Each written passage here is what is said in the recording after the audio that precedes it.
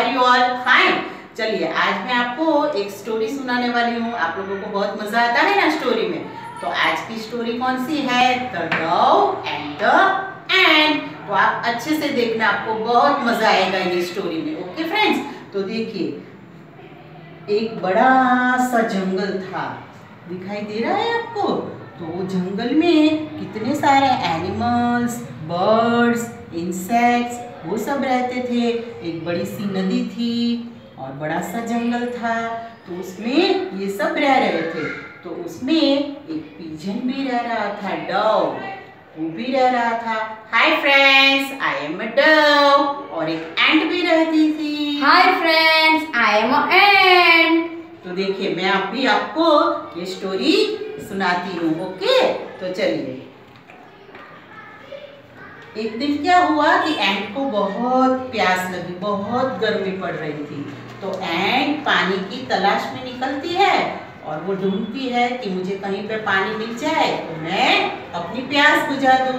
तो उसको, वो नदी के पास आती है, नदी दिखाई देती है और एंट पानी पीने के लिए जाती है। लेकिन क्या हुआ?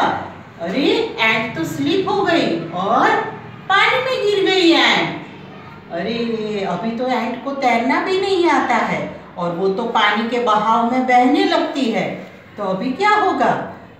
एंट पे तो मुसीबत आ गई।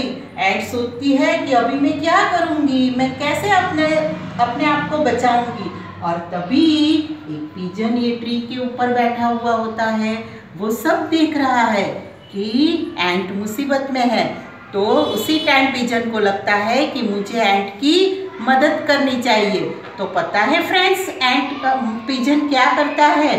वो एक लीव्स ट्री में से ऐसे निकाल के वो पानी में गिराता है, ऐसे।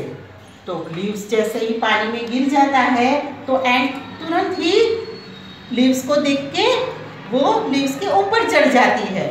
और धीरे धीरे धीरे धीरे स्लोली स्लोली पानी के बहाव में लीव्स तैरता है और उसके ऊपर बैठ के एंट भी किनारे पे आ जाती है और एंट की जान बच जाती है। तो एंट डव एंट को पता चल जाता है कि डव ने ही ये लीफ बेच के मुझे, मेरी जान बचाई है। तो एंट क्या बोलती है? थैंक यू फ्रेंड आपने मेरी जान बचाई।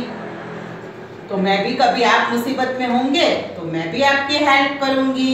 ऐसा बोल के एंट अपने घर चली जाती है और पिजन अपने घर चला जाता है। फिर दूसरे दिन पता है आप लोगों को क्या होता है? एक हंटर आता है। और फिर हंटर क्या करता है? वो तो शिकार के लिए आता है। और फिर उसकी नज़र, ये पिजन पे पड़ती है हंटर की नज़र। और पता है हंटर क्या सोचता है?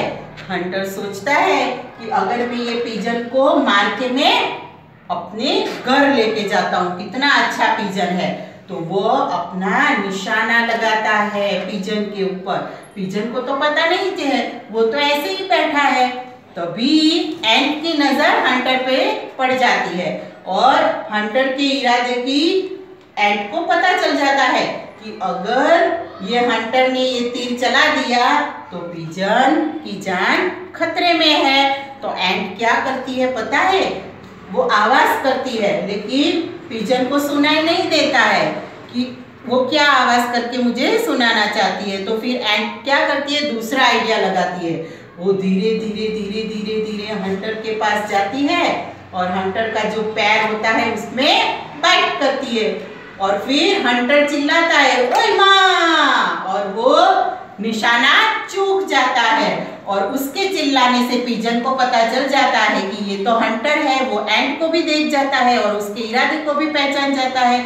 और फिर डव क्या करता है, वो तो दूसरी जगह फ्लाई करके चला जाता है और फिर वो एंड के पास आता है और बोलता है कि थैंक यू एंट.